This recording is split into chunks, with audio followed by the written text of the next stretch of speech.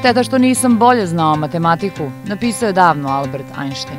Te reči neće napisati mladi novosađanin Vukašin Đinović koji od malena gaji ljubav prema matematici. Ljubav prema matematici i fizici postoji još od malih nogu i doslovno od rođenja me privlači matematika pre svega i kada sam ušao u osnovnu školu i učiteljica je primetila taj talent za matematiku već u drugom razredu osnovne škole me posavetovala da mogu da upišem u sedmom razredu specijalno matematičko odeljenje u gimnaziji Jovan Jovanović Zmaj, tako da je to nešto prirodno, da tako kažem, nešto što sam primetio od najranijih dana. Za sve, a posebno za matematiku, potreban je rad i volja, što Vukašinu ne predstavlja nikakav problem. Naprotiv. Potrebna je velika koncentracija, potrebna je pažnja, ali ja bih lično rekao da matematika nije toliko teška kolikom se možda čini ili kolikom se pravi da bude. Zapravo samo je potrebno raditi, neprestano vežbati, dakle truditi se prosto biti sve bolji i bolji. Nekako mi se čini da je matematika veoma logična zapravo kada se potrudimo da uđemo u njenu suštinu i da se zaista nekako pronađemo u njoj. Uspeh je u takmičenju niže od trećeg razreda osnovne škole.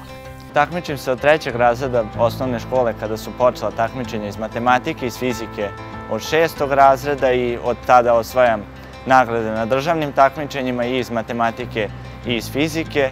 U osmom razredu srednje škole sam osvojio prvu nagradu na Srpskoj fizičkoj olimpijadi i treću nagradu na Srpskoj matematičkoj olimpijadi i nakon toga u prvom razredu srednje škole sam se kvalifikovao i osvojio srebrnu medalju na Svetskoj naučnoj olimpijadi koja je održana u Kataru, u Dohi.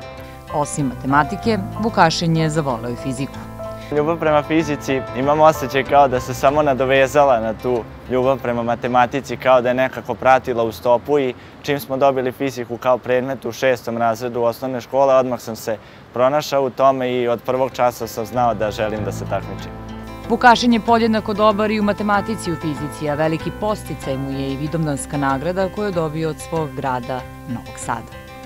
Pa smatram da je veliki posticaj recimo dobiti Vidovdansku nagradu i generalno smatram da to jeste nešto što može dodatno da motiviše đake da se bave naukom. Budućim matematičarima i naučnicima Zlato Srbije poručuje. Mladim ljudima bih želeo da poručim da ne treba da se plaše nauke, da ona zaista nije teška i da samo treba da uđu u taj svet da bi uvideli sve njegove lepote i da je važno da budu izuzetno uporni i istrajni i da će, ako budu uporni, uspeti u tome što budu želeli.